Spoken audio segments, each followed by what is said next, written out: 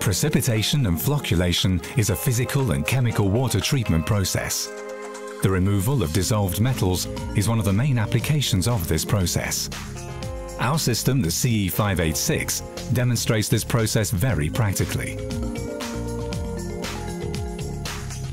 Artificial raw water containing dissolved iron is prepared in a tank. To ensure the iron remains dissolved, a pH value below 3.0 is required. After starting the feed pump, the precipitation tank is filled with raw water.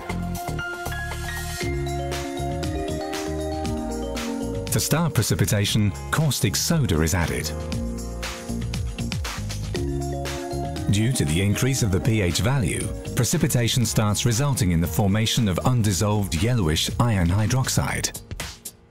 To improve the settling properties of the small iron hydroxide particles, the water is fed into a flocculation tank.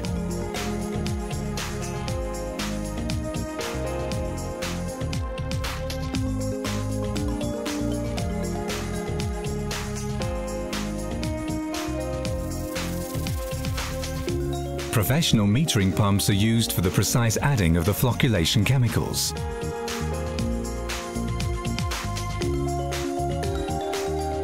As a result, the small iron hydroxide particles aggregate into large flocs.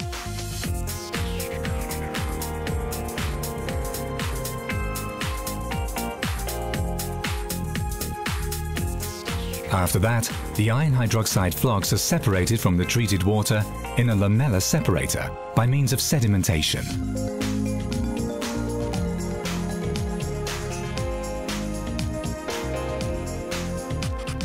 As the water flows upstream between the lamellas, the flocs sink to the bottom of the lamella separator.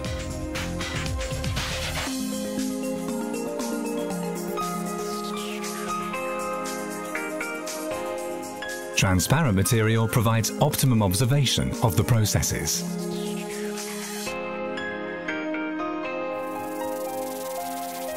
The treated water is discharged continuously from the lamella separator and collected in a separate tank. Samples can easily be taken for water analysis.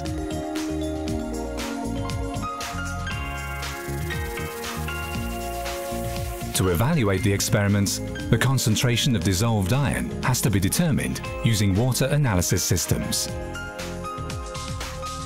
The CE586, a convincing concept.